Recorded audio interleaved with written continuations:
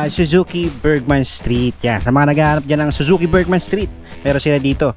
Dito naman, sa mga naghahanap dyan uh, ng underbone na Suzuki na, uh, na Raider. Yan, meron silang carb type tsaka FI. Alright, so dito, eh, mga scooter na, may, meron silang MIUI 125. Dito, meron silang uh, Honda Click, merong Honda Dio. Tapos dito, may XRM. Tapos ito, uh, Suzuki Smash. Tapos meron din silang Airblade dito. Tapos dito, meron silang PCX. Tapos ito, uh, SA. Tapos ito, NMAX uli, oh. Yan, madami silang NMAX dito. Marami kayo pagpipili mga karepo. Tsaka itong Aerox. Alright, so dito naman, Suzuki Bergman ulit. Tapos the rest, yun to, may mga Honda Click pa rito na version 2. Tapos version 3. Yan, sa mga naghahanap din ng version 3, ito mayroon sila dito. Tapos ito, uh, magpapahuli ba to? Ito meron, meron sila dito ng ano, uh, Mio Sporty. Tapos ito, Mio Soul Eye.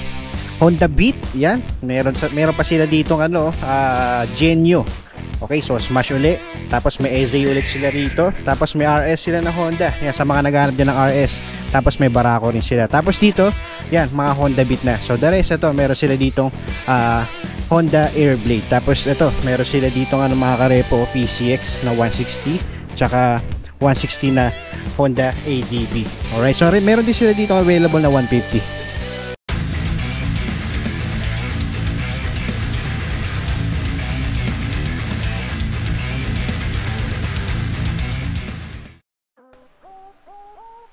What is up mga karepo? Welcome kayo sa panibago kong repo update. So kung ikaw ay mahilig sa motor at naghahanap ka ng mura, second hand at installment na motor, ang channel na to ay para sa iyo. Kaya kung hindi ka pa nakasubscribe, i-click mo na yung subscribe button at ang notification bell na sa ganon ay ma-notify pa kita sa mga susunod ko pa ilalabas na repo update. Sa mga hindi pa nakapanood ng last episode ko, ito yung thumbnail niya ilalagay ko na lang sa description yung link ng video para kung gusto nyo panoorin, i-click nyo na lang. At kung magustuhan nyo man tong video na to mga karepo, pindutin nyo lang yung like and share button dyan sa baba ng video. At malayang malaya kayo mag-comment dyan sa comment section kung ano ba magiging opinion nyo sa mga motorsiklo na makikita nyo ngayon sa video ko. Nandito ako ngayon sa isang warehouse ng uh, Agribank dito sa Pasig. Alright, so sa location nila, ang location nila is Philflex Compound, Mercedes Avenue, San Miguel, Pasig City. Sa tapat lang to ng video na uh, video Mercedes. Alright, so pwede nyo siya i-waste, pwede nyo rin i-google map no, papunta dito. Alright, so sa magtatanong naman ng requirements, ilalagay ko dyan yung requirements sa screen. Screenshot nyo na lang. Alright, so yung mga karepo, no, kung sakaling may makita kayo dito na motorsiklo at balak nyo kumuha ng installment, ah, uh, sa mga unit nila dito like 125, 150cc pataas. Pagdating sa 125 mga karepo meron silang down payment na 2,000 alright? So yun lang.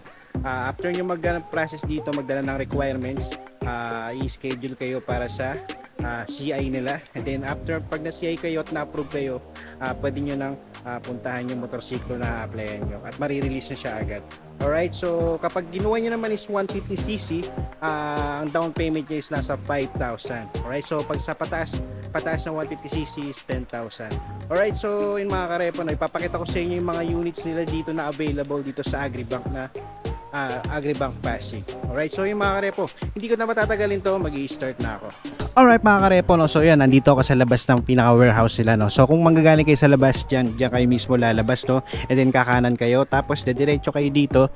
Tapos ito na, bubunga na sa inyo tong Agribank na warehouse.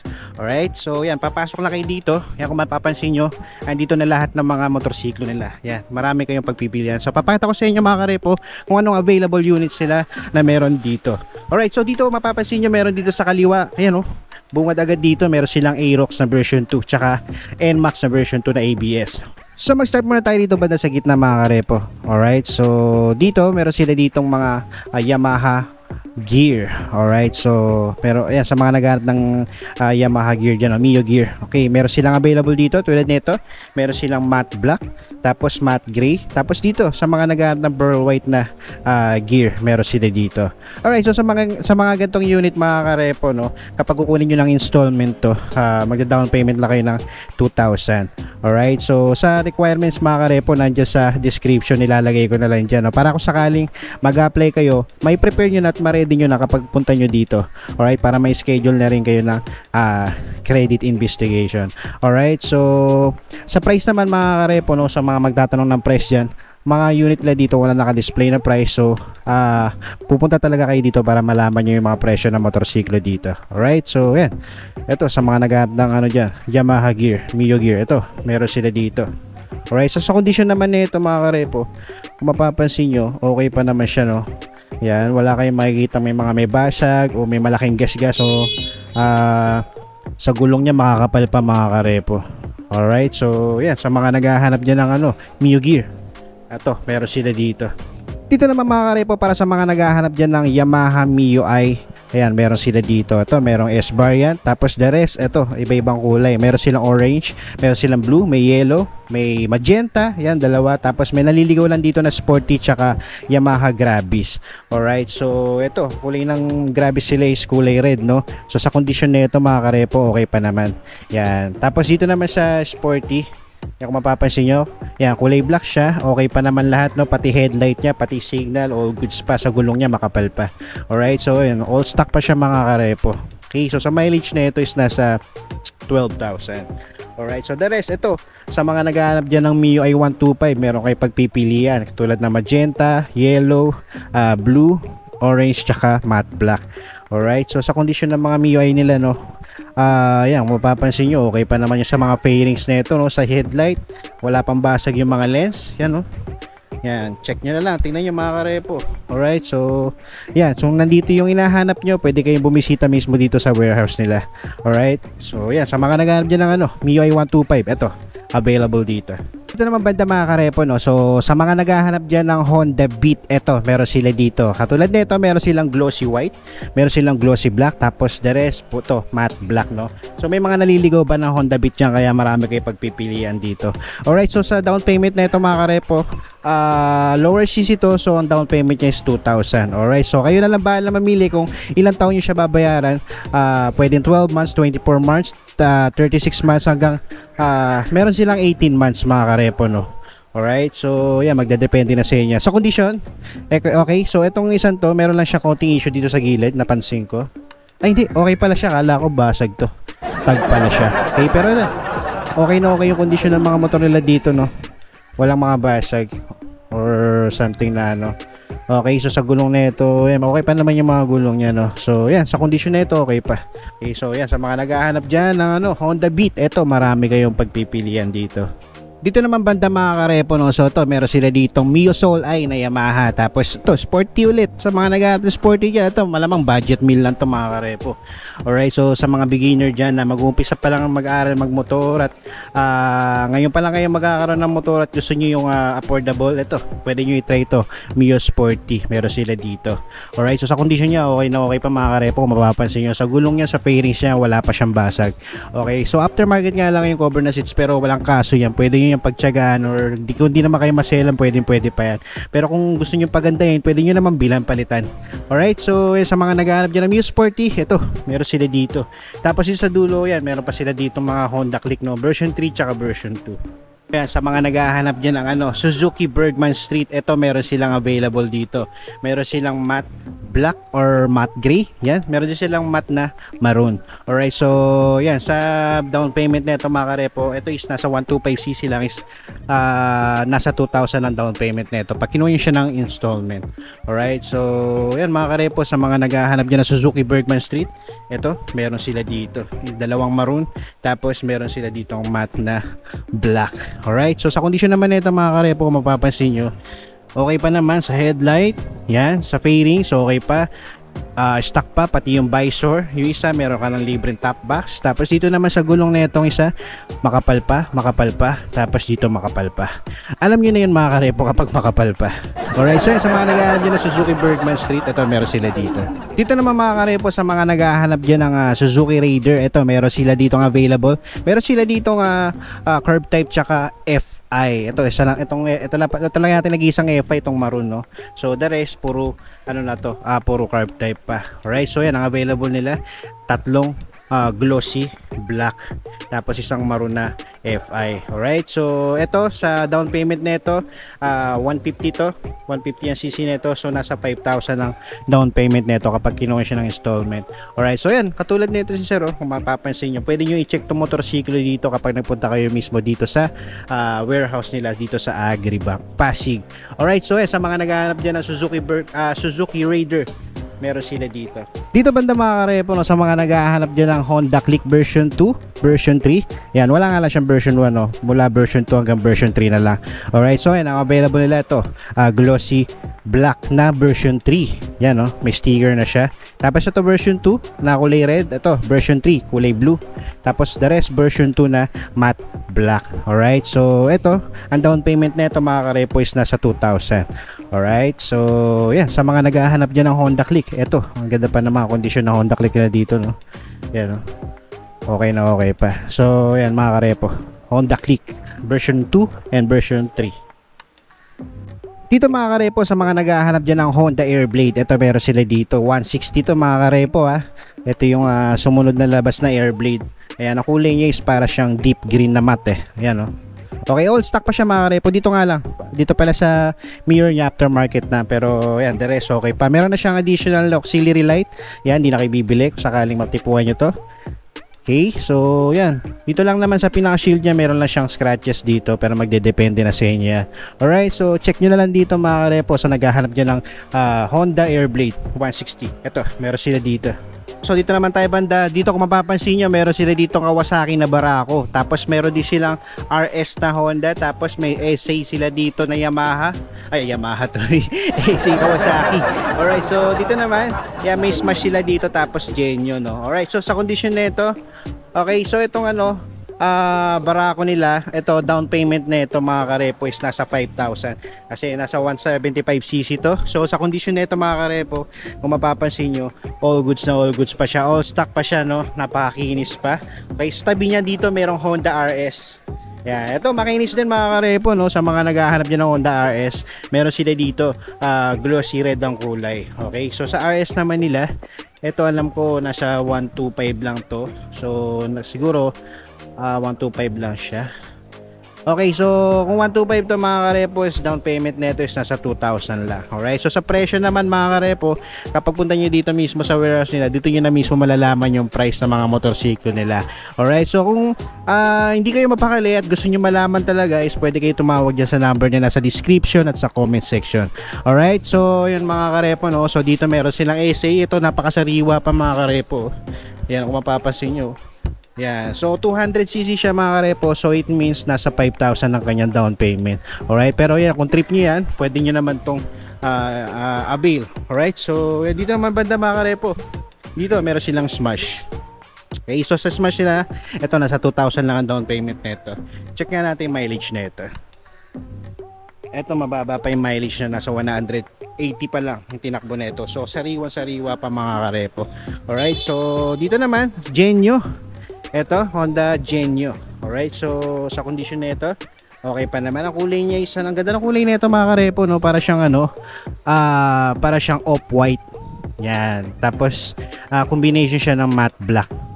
So, yan, sa mga naghahanap dyan ng Honda Genio, ito, meron sila dito. Okay, so the rest ito meron ulit ditong uh, sporty na Mi, uh, Mio, Yamaha Mio Sporty. Yan. So sa condition niya, ito okay na okay pa mga repo, mukhang bago pa to. Sa mileage na ito is nasa yan, nasa 7,000 lang mga karepo. So sariwa pa mga karepo, pwedeng pwede pa yan. Yan oh, all stock pa siya. Tapos ito naman, uh, Honda Beat. Yan. Isang puti, isang matte black. Alright? So sa mga naghahanap din ng Honda Beat, ito. Itong isa may dagdag na na auxiliary light to. Okay? So, meron na siyang ano, abang para sa top box. Dito mga repo no yan, kung mapapansin nyo, sa mga naghahanap dyan ng Yamaha Mio Aerox, ito meron sila dito. Kulay nito is uh, matte black. Alright, so sa kondisyon nito mga karepo yan, kung mapapansin nyo, okay na okay pa siya. All goods na all goods pa. Stock pa pati seats. Sa, sa fairings niya, makinis pa. Yan, visor niya. Alright, so pagdating naman dito sa sa ano niya, no, sa headlight niya, okay na okay pa. Tapos niya sa signal niya. Alright, so the rest, front fender, sa gulong niya, maayos pa, makapal pa mga karepo. Alright, so eh, sa mga naghahanap diyan ng Mio Aerox na matte black, ito, meron sila dito. Dito naman mga karepo sa mga naghahanap diyan ng Yamaha ABS na version 2. Ito, NMAX. Meron silang available dito na uh, silver. So sa condition nito mga karepo, okay na okay pa naman siya no. Fairings niya wala kayong po problemahin. Seats niya stock pa, wala pang butas. So pwede niyo i-check na mga karepo ha. Ayan, nuulit ko sa inyo, pwede kayong pumunta dito para i-check yan sakaling ganyan yung hinahanap nyo at para matry nyo siya no. Okay, so pagdating naman dito sa headlight niya, kung mapapansin nyo, napakakinis pa ng lens niya, pati dyan sa signal. Okay, so sa front fender, sa gulong niya makapal pa mga karepo. Alright, so sa mga naghahanap dyan ng uh, NMAX ABS sa Prestige Silver, ito, meron sila dito. Ay, dito naman banda mga karepo no, sa mga naghahanap ulit dyan ng Yamaha Mio Aerox, ito meron silang version 2 dito na 155. Yan o, isang matte gray. Yan, tapos ito glossy blue. Alright, so sa down payment nito mga karepo, so nasa 5,000 na siya. So higher CC siya. So 155. So ang down payment nito kung sakaling kukunin siya ng installments, nasa 5,000. Alright, so kung pupunta kayo dito, mas maganda dala nyo na yung requirements nyo para pag na-process na yan, i-schedule na kayo para uh, para sa CI or credit investigation. Tapos after that kung na kung naipasa niyo yung ano nila, CI nila, so uh, pwede niyo na kayo agad na pumunta dito para ma-release na yung motorsiklo na gusto niyo applyan. Alright, so yan, sa mga naghahanap na ng Mio Aerox, no, ito meron sila dito. Yan, sa condition nito, mapapansin nyo, okay na okay pa siya mga repo, no. Yan, no, all stock pa. Yan, makinis pa mga repo. Okay, so itong isa, itong blue, ganun din. Yan, mababansin mo, makinis pa yung fairing. Sa seats niya, stock pa, wala pang butas. Yan, pati mirror niya, stock din. Yan.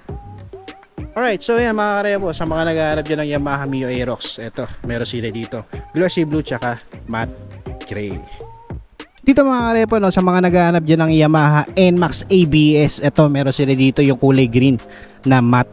Yan no, So, yan. Sa down payment niya is 2,000 mga karepo kasi higher CC na siya. Nasa 155cc siya. So, sa condition na ito mga karepo, check natin, no? Yan. So, pagdating sa fairings na ito mga karepo, uh, okay pa naman siya. Okay, so stock visor pa siya. Hindi pa siya nawawala. Okay, so sa seats niya stock pa, wala pang butas. So, yun, overall mga karepo, okay ito. Okay, pagdating dito sa headlight niya, yan kung makikita nyo, makinis pa yung lens, pati signal, pati front fender, paka, pati itong ano, gulong. Alright, so alam nyo na mga karepo. okay, so yan sa mga naghahanap dyan ng NMAX na kulay green, ito, meron sila dito. So dito mga karepo, kung mapapansin nyo, meron ditong PCX, no? Yan, Honda PCX. Sa mga naghahanap dyan, ito, meron sila dito, tatlong kulay puti. Okay, so sa kondisyon nito mga karepo, Itong isa nga lang meron siyang issue dito. Basag na yung salamin niya. Okay, ginawa siya ng paraan yung visor ng helmet ang nilagay. okay, so dito naman sa tabi niya to okay na okay pa mga karepo. Wala pa siyang issue. Okay? So ito lang naman headlight lang naman ang problema nito eh kung maganda yung takbo ng makina nito. Bakit hindi, no? So, yeah, magdidepende na sa inyo mga karepo kung, maka, kung sakali makita kayo ng issue sa isang motor, no? Okay? So, kayo nang uh, ano diyan, magbahala mag-decision diyan. All right? Choice nyo naman yan eh. Okay? So, pwede kayo mag-comment diyan ng mga opinion nyo mga karepo, no? Sa about sa mga motorsiklo na makikita nyo. Okay? So, malayang malaya kayo. Okay lang kahit anong sabihin nyo. Wag lang kayo magmumura, okay? So, dito naman, So, ganun din, kulay puti din mga karepo, no. Ito, maayos pa yung uh, condition na itong dalawang to, no. So, mapapansin nyo to isa, marami lang siyang sticker. Okay, so, pero napakakinis na ito mga karepo. Yan, no. Stock pa pati seats. Tapos may abang na siya ng ano, top box sa likod. Okay, so yan, sa mga naghahanap dyan ng ano, Honda PCX, ito meron sila dito. So, sa down payment na ito, higher CC to, so nasa 5,000. Last mga karepo no, so dito meron sila ditong uh, ADB. Yan, sa mga naghahanap dyan ng Honda ADB, meron silang available dito, isang 150 tapos dalawang 160. Isang white tsaka black. Alright, so dito muna tayo sa 150 mga karepo no. So, ang down payment nito as usual mga karepo is nasa 5,000 kasi uh, higher CC na to. Okay, so sa condition nitong 150 nila, uh, yan okay pa naman siya no may mga additional lang siya na accessories katulad ng uh, emblem. Ah, emblem tuloy. Parang uh, garnish para sa ano sa headlight. Yan tapos aftermarket na yung visor niya mga karepo no? So sa headlight niya wala kayong problema kasi uh, buong buo pa naman siya no? Okay? So dito naman sa tabi niya so meron dito dalawang uh, 160 na in ADB no? So isang puti isang uh, matte matte white tsaka matte black no. So yan naman yung lumabas na bagong ADB ngayon no, matte color. So dito sa puti mga karepo no, sa kondisyon nito. Yan, para sa akin okay na okay pa to mga karepo, paliliguan mo lang. Medyo marami lang siya kasi nai-stack lang nai-stack siya dito. So yan, sa alam ko marami naghahanap ng ADB 160 na repo no. Ito, ito na yung chance nyo. Pwede kayong pumunta dito para may check nyo to. Tapos pwede nyo applyan kung gusto nyo ng installment. Eh, kung gusto nyo ng cash, pwede rin naman mga repo. Pero kung ah sakto lang yung budget nyo, pwede nyo siyang kunin na installment. Alright, so yan, sa condition na ito, okay na okay pa mga karepo. Headlight, okay pa. Wala pang basag. All stock pa, pati visor niya mga karepo. Okay, so dito naman sa isa, ito, matte black naman. Yan, sa mga naghahanap ng matte black dyan, ito meron dito. Okay, so parang 150 lang yata itong isang to. Hindi ko sure ah. Pero nakalagay dun is 1 150 ba yun o 160 Alright, so check nyo na lang dito mga karepo no? So sa mga naghahanap dyan ng Honda ADB Available dito 160 tsaka 150 Alright, so yung mga karepo no ah, Ito yung mga motorsiklo na na dito sa Agribang Pasig. Alright, so pwede kayong bumisita mismo dito. Lalagay ko lang yung uh, address nila dyan sa description, sa comment section, pati yung contact number nila para sa mga karagdagan na katanungan. Okay, so yun mga karepo, that's it for today. Maraming salamat sa umabot sa punto na to. Okay, so meron pa kasi sila dito. Kaya kung mapapansin nyo, hindi ko na sinama kasi ang nakalagay kasi dito is not available. So it means uh, nakuha na tong mga tong mga karepo no. Yan no, sayang to. Aerox. Tapos meron silang power gray na NMAX. Tapos itong gray. Uh, parang na-repaint lang siya. Tapos ito may prestige silver ulit. Alright, so yan mga karepo no. So that's it for today. Maraming salamat sa umabot sa punto na to.